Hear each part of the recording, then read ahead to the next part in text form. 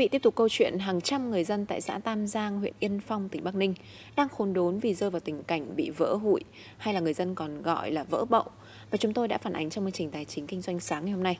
Và điều bất thường ở vụ việc này là người dân khi mà tham gia phường bậu lại không rõ dây bậu của mình có những ai, ai được lĩnh bậu hàng tháng và chỉ đến khi bị vỡ nợ thì cũng không rõ chủ bậu đã sử dụng tiền này vào việc gì. Vâng, chúng ta đã cảnh báo rất nhiều rồi nhưng mà vẫn có người mất tiền cho nên là nhiều quý vị khán giả đã đặt câu hỏi cho chương trình là việc tham gia phường hụi họ bầu thì có được pháp luật quy định hay không và tại sao hình thức này tiềm ẩn rất nhiều rủi ro như vậy khi liên tiếp tại nhiều địa phương đã xảy ra tình trạng vỡ hụi mà người dân lại vẫn cứ tin tưởng vào hình thức này. Tham gia nộp tiền bậu, tiền phường hay là tiền hụi dù chục triệu đồng, hàng trăm triệu đồng hay là hàng tỷ đồng thì cũng chỉ nhận về những tờ giấy sơ sài như thế này mà thôi. Tiềm ẩn rất nhiều rủi ro. Vậy tại sao trong nhiều năm qua, người dân vẫn đặt niềm tin vào những hình thức như thế này? Chơi mỗi tháng thì là đóng 2 triệu rưỡi thì cứ bảo đóng 2 triệu rưỡi. Thế tháng này bảo đóng 2 triệu rưỡi tháng sau đóng 2 triệu sáu.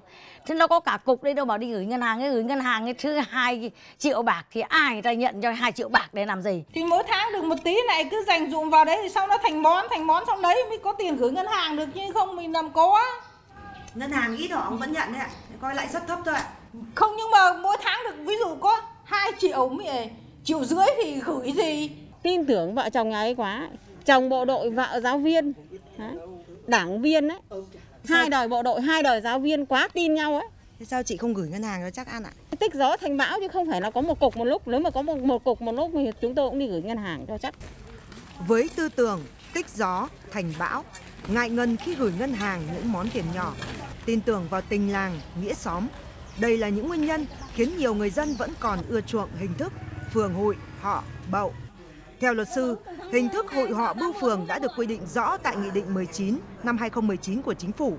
Trong đó, Điều 14 nêu rõ, chủ họ phải có văn bản thông báo cho Ủy ban Nhân dân cấp xã, nơi cư trú, khi có từ 2 dây họ trở lên hoặc kỳ mở họ từ 100 triệu đồng trở lên để chính quyền quản lý. Tuy nhiên, theo Ủy ban Nhân dân xã Tam Giang thì chủ họ tại đây không hề có thông báo gì. Vì vậy, mặc dù là hình thức được pháp luật quy định, nhưng để tránh rơi vào cảnh rủi ro thì người dân cần nâng cao hiểu biết pháp luật khi tham gia chơi hụi.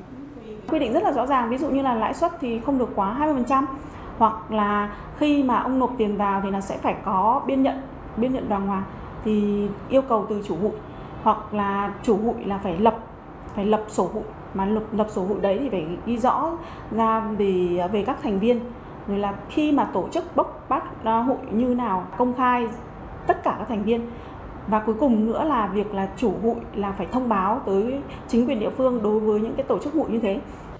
Tham gia phường hụi, phường bậu, phường họ theo phong tục tập quán tại địa phương luôn luôn tiềm ẩn nhiều rủi ro.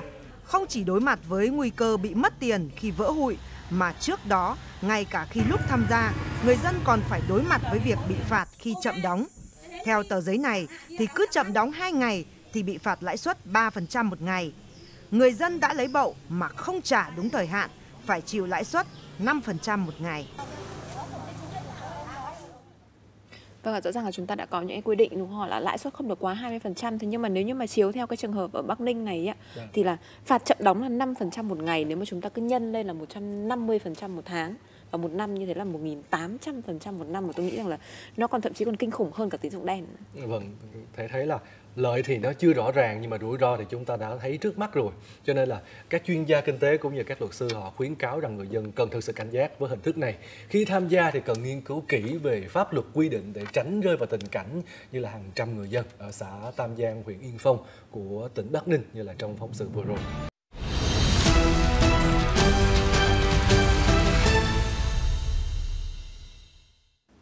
Thưa quý vị, hình thức chơi hụi họ, phường hay còn gọi là bậu tại các làng quê đã có từ lâu và cũng đã có không ít vụ việc vỡ hụi xảy ra tại nhiều địa phương và cũng để lại nhiều hậu quả đáng tiếc.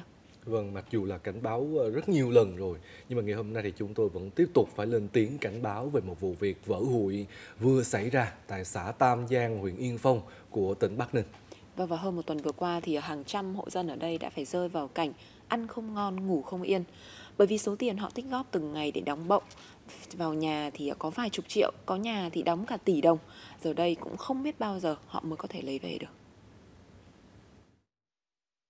Nhà tôi không có một cái gì, sập đến nơi rồi, không có gì đáng nổi một triệu.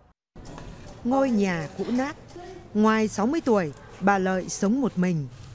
Cóp nhặt từng đồng, từng hào để mỗi tháng gửi vào phường Bậu với mong ước có tấm có món cho tuổi già. Thế nhưng đóng được hơn 44 triệu đồng thì chủ Bậu tuyên bố vỡ nợ. Tôi không biết làm thế nào được mà tôi chán nản, tôi ốm, tôi tiếp nhiều nữa quá. Nhà đây chung quanh tường rách nát, nhà cửa chả có gì đáng nổi tiền triệu cả. Thế mà xin độc 20 triệu còn tặng 25 triệu, rất khoát không. Đấy, bảo coi như là mất. Còn bà Chất cũng ngồi cắt kén mỗi ngày được vài chục nghìn. Nhặt nhạnh từng đồng, từng hào cùng con cháu gửi gần 200 triệu đồng vào phường Bậu. Đêm ngày không ngủ được thì nhiều người ốm đau còn gầy thì sút hàng bao nhiêu cân những người. Ví dụ như tôi còn khớ nhiều người tàn tật hay là túng thiếu muốn để muốn làm gian cửa gian nhà nhà sụt đổ thì bị thế này về còn ngất xỉu đi mà còn khóc nóc mấy con Chủ bầu chẳng phải ở đâu xa mà là một hộ dân có uy tín ở thôn Vọng Nguyệt.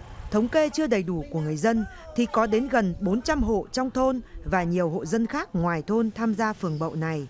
Điều bất thường là trong quá trình tham gia, người chơi bậu không biết được ai cùng dây với mình, không biết ai là người lĩnh bậu mỗi tháng.